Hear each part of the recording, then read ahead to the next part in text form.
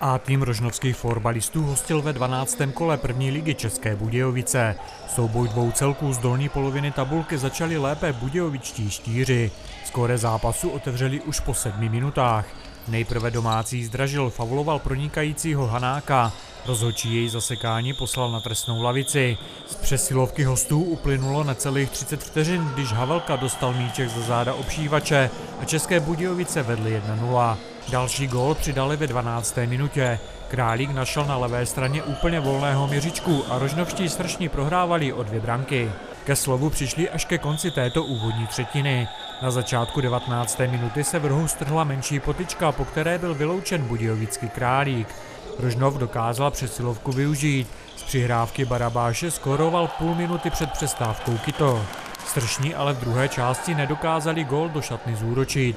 Naopak inkasovali další branku. Do třetí třetiny však nastoupili jakoby politi živou vodou. Dvěma trefami Buríška a rozhodujícím gólem Viktoříka otočili skóre a nakonec porazili České Budějovice 4-3. Příští kolo hrají opět doma. V sobotu 23. listopadu hostí severočeský florbal Ústí.